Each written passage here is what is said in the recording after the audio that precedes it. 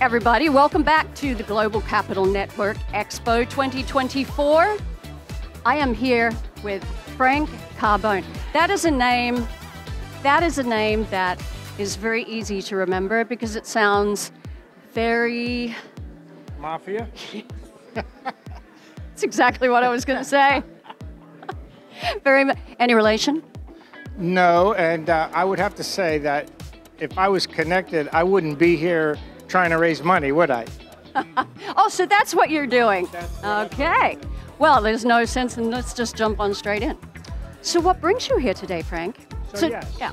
uh, I've been. A, uh, Josh is a great friend of mine, and he does an excellent job here, and I appreciate his uh, invitation. And um, so, yeah, we have a booth this time, and um, so yeah, I created a company that has developed an automated cargo system for vehicles that enables you to load stuff onto the top of your vehicle or into your vehicle in a matter of seconds, single-handedly with the push of a button.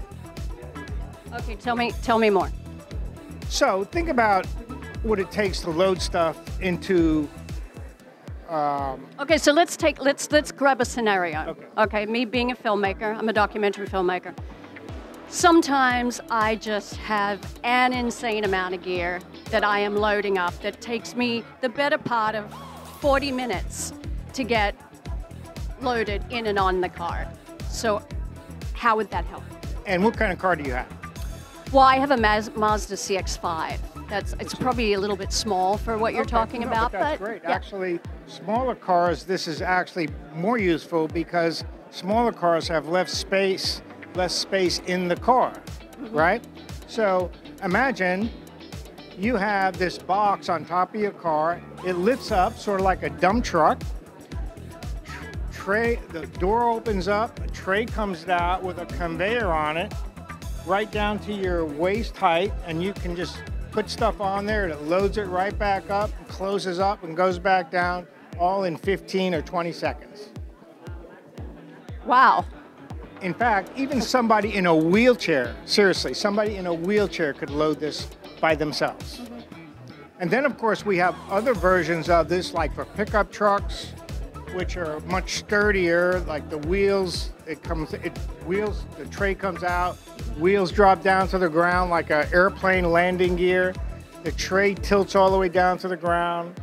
A winch comes out and pulls the stuff into your vehicle, 300, 500 pounds by yourself. So it's a, it's a beautiful system. Is it heavy? No, it's uh, the one that sits on top of the vehicles is about 70 pounds. The ones that's inside the vehicle, like in a pickup truck, is heavier, but it handles a lot more weight, and it doesn't matter because it's in the it's in the bed of a pickup truck. Sure. Sure. It sounds like that could be like an I could see Amazon delivery drivers with that. Well, you know, we are. I, don't want to talk about patents that are in process right now. We already have four patents, three in the U.S., uh, one in Europe, uh, that cover uh, our rooftop product, cover our pickup version, and cover our um, airport shuttle version, which is also very cool because it um, it sits on top of a van. It tilts to the side, and it has multiple trays so that people can load stuff uh, at the airport and take it right to their hotel. It's very cool. That's crazy. That sounds awesome. I mean, you know, especially looking after your back, looking after your body, the constant carrying and lifting, and especially putting in and out of cars. I think that, even, you know, as a filmmaker for me, like Pelican cases, push, it's the angle that you're trying to push stuff all the way through. Well, you know, it's funny. You mentioned Pelican cases on our on our website, robocargo.com. On our website, I'm sorry. Thank you for the plug. Yes. On our website, we um, show a, uh, a bunch of Pelican cases in a being loaded into a Ford Bronco. So, yeah, I mean the Pelican cases is is is a perfect example of because Pelican cases they tend to be heavy, right? There's a lot of stuff Yeah. in them.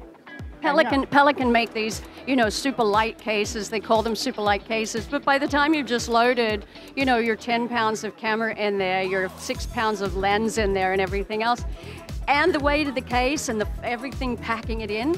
Yeah. Yeah, I think it's. I think this is. I think this is revolutionary, really, and maybe not quite revolutionary, but it's. We're reinventing how people load and unload stuff from their vehicles, both individually, like as consumers, and really more importantly, as businesses, because we think that businesses like that run fleets of vehicles, construction, heavy equipment, heavy stuff, they're going to save as much on workers' comp as they will cost them to put our system in their vehicles. But also the time factor. And the time the time factor is huge, and also making the utilization of that space more efficient. Because if you see most construction people and you see the the um, the state of their vehicles, they just throw all their stuff in the back of the vehicle and they're lifting stuff up, trying to figure out where something is. and, You know, Yeah. a month later, they discover that that three thousand dollar tool is not here anymore, and where So they go and buy another one. Right. No, that it's a big thing, especially for businesses. So yeah, we're pretty excited about that aspect of it as well. So how has this been for you here today? So we've we've seen a lot of interested people, um, and you know you don't know until you get you do the follow up. But there's been some really good interaction. We had this. We had a we set up a booth and we had a a, a looping video with all of our vehicles with the different platforms automated, uh, showing the loading and unloading and. Just watching people's eyes light up and say, "Oh wow, that's that's fun. It's fun to see that." You know what's funny, Frank, is you, you talk about something like that, and I think I saw it. You're in that room over there, right? Yes. Yeah, yeah. Um, on the right-hand side, I think I saw it was a green truck because I was yeah. looking. Yeah. That was the Bronco. I have my head over someone's shoulder listening. Um, it seems like such a simple idea. I know. You know, that's a funny thing because I'm a, I'm an aerospace engineer and I'm an inventor. Oh wow. I've done this stuff for many years. But here's what's interesting about inventing. Sometimes you think you come up with the most clever thing in the world and you're so freaking smart. Mm-hmm. And then you go on the patent site, USPTO, and you see that there's 10 other people that have already thunk of it before you did. But not this But- one. On the other hand, sometimes you think of something like this thing, which, like you say, it's kind of obvious. And when I first thought of it, and actually it was my daughter that thought, pointed it out to me. I was picking her up from uh, college. She was coming back from Vanderbilt for a winter break, and we were stuck on the freeway on the 405. Oh no, Vanderbilt. Well- I thought you meant Nashville. Well, yeah, well, yeah. She was going to Vanderbilt. She was coming from Nashville to LAX. So I pick her up, and we're on the freeway on the 405, or the 405, as some people say, right? And we were going four or five miles an hour. And you know, you go up a little bit and you stop. And anyway, this guy was next to us, and he had one of those boxes on top of his SUV. And so I pull up, he pulls up, and my daughter glances over a couple times, and she says to me, because she knows what I do for a living, and she says, Dad, those things are so stupid. You ought to automate that. And that's all it took. That's all it took. So, She has quite a large sharehold in this whole project. well, we're not going. Did she pay you to say that? No, I actually. I've, well, she's actually contributed to the patents, and she's named on all of our patents. Nice. She actually is a software. you, She's a software engineer. Well, you have to recognize people that contributed to the idea. It's you're obligated to do that legally. Actually, actually, in patents, a lot of people don't know that. But yeah, so but and I was happy, ethically. and I was happy to do that, of course. So of course. yeah, if you if you Google our patents, you'll see Dominique Carbone on the patents as well as. Frank Carbone. Nice. That's awesome, Frank. Yeah, I'm excited about it, and, and I think that this is going to really help businesses and help individuals. Um, have a better experience with their vehicles. And especially, by the way, as we get older, you know, it's uh, lifting things on top of the your car, climbing on a ladder, uh, lifting things in the back of your vehicle. You know, our bodies were really not designed. They were not, as an engineer, I can say this. Our bodies are not really engineered to take those kind of loads. That's why 40% of workers' comp cl- claims are lower back claims. Yep. Yep. And I So- think it's all like, uh, what do they call it? Um, F2 of that now. Uh, compressed discs. Right, Some, right. Some weird thing. So yeah, I think it's going to be fun, and I think uh, I'm excited to be able to deliver a product to the general marketplace because most of what I've done in my life is I've been an aerospace engineer working on secret stuff that you know Oh, Nobody gets- exciting. it's exciting, but I don't get to tell anybody about any of that stuff, so it's not exciting. It's it's frustrating. Yeah. yeah. What did you work on today? Oh, I can't Oh, it was incredible, but I can't tell you. Yeah, no.